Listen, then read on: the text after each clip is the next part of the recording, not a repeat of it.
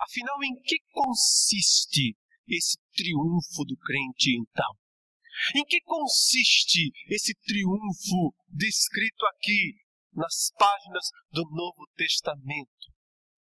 Não é um triunfalismo vazio das mídias evangélicas brasileiras, americanas, mundiais. Não é um triunfalismo de fantasia, de conto de fadas. Esse triunfo aqui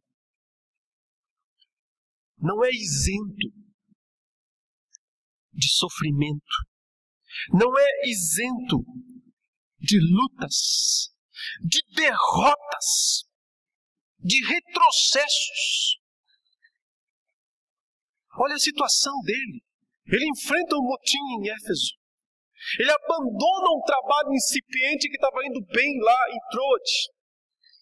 Ele está totalmente preocupado com a situação em Corinto. Ele não tem paz. Ele não está em paz. E ele é o apóstolo. Ele é o apóstolo dos gentios. E ele passa por todas essas experiências. Então acho que nós também podemos passar por elas. Então acho que nós também podemos experimentar o, o verdadeiro triunfo, ainda que tendo que enfrentar na nossa vida lutas, retrocessos, derrotas até mesmo. Da perspectiva humana, daquilo que ou naquilo que os homens podem ver. Irmãos, houve muita mágoa entre Paulo e os coríntios, dos dois lados. Tristeza, tristeza profunda, que o impedia ainda de ir visitá-los.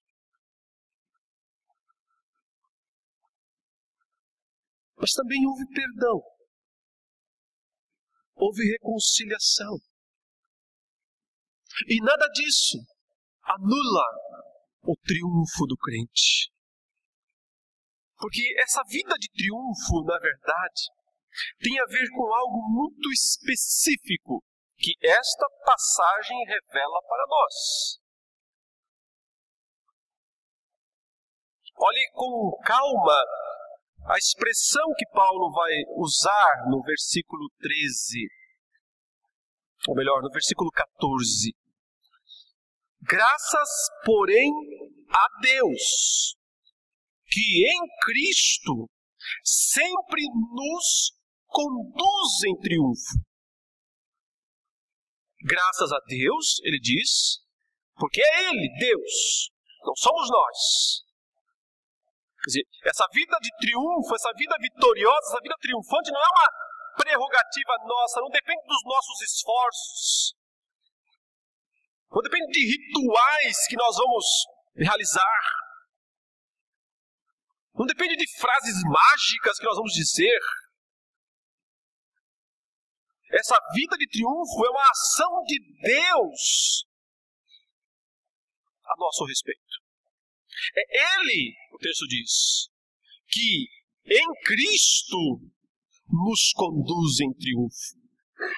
Aliás, uma tradução que poderia ser até mais exata dessa passagem poderia ser assim: Graças a Deus que nos conduz no triunfo de Cristo. Porque o vencedor é Cristo. O único triunfante é Cristo. Mas Deus decidiu, por misericórdia, nos incluir na vitória dele. É isso que Paulo diz aos Romanos, não é?